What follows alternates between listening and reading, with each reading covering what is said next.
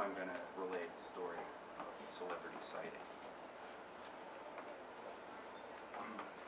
Despite her identity obscuring hat, overcoat, I recognize the singer of No Doubt immediately. Checking in on British Airways Flight 112, London bound, one person ahead of me in the line at JFK Airport. Her name is Gwen Stefani.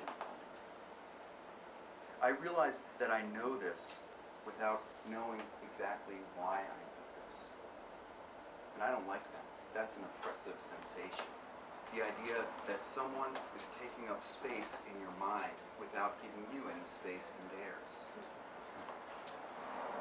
You should be paying rent in my mind, I want to say, Fugazi style, when I see her.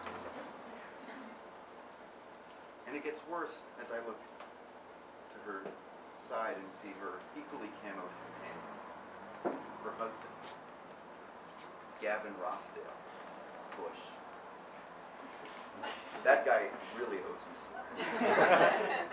he is, he doesn't take up much space, but in the words of my own current landlord, he is not a desirable tenant.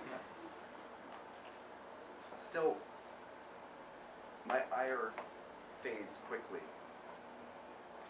replaced by a feeling of, of actual joy. Although the presence of these people on the plane does not lessen the statistical probability of a hijacking, it makes the possibility of a hijacking seem a lot more exciting. And given the passenger options, how likely is it that I'm going to end up the hostage? There's a strange satisfaction to that thought that these people who have handlers and managers have been placed aboard the same flight as me. Someone did some research. Someone ascertained that this was a safe flight. It's funny that I can't recall the specifics of how I got on this plane, how I booked it. It was like an 800 number. But I can't And that's actually a piece of useful information that I could use again later. And the name Gwen Stefani, on the other hand, is useless, except that I can say that I saw Gwen Stefani. But there they are, Stefani and Rossdale, taking up space in my mind, crowding out other important information. The Pythagorean theorem, my civil rights. That's the depressing reality of the modern mind. It's like Geraldo Rivera opening up Al Capone's vault. There's a lot of hype, a lot of empty promises, but inside, really, you find very little substance. I listen to stories on NPR, five minutes later, I can't remember whether it was Sierra Leone or Sri Lanka that they were talking about. I, I don't know, but but Tel Aviv, that's on the first Duran Duran Rio is on the second.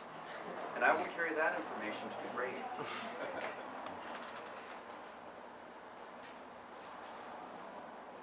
We check in our luggage, we get our tickets assigned, and then we go over to the x-ray machine. I see the security guard look at those camouflage wearing people ahead of me, and she gives that sort of reflexive, startled look. I mouth to her. Hmm. She smiles, nods at me with wide-eyed enthusiasm. Gwen and Gavin open their briefcases, take out their iMac power books, put them on the x-ray machine. And then a guard announces, all right, could everyone take off your hats and coats and place them on the conveyor belts?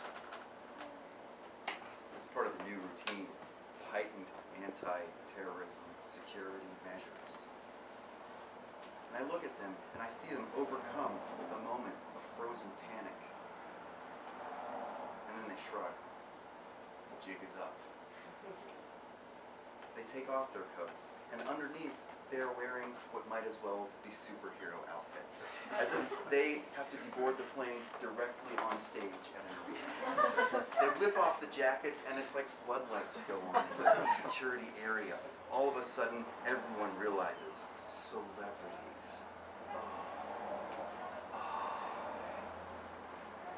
It's like American royalty, waving of hands, smiling.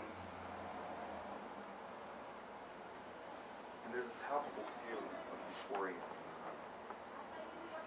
The passengers know that we are safe within those hands.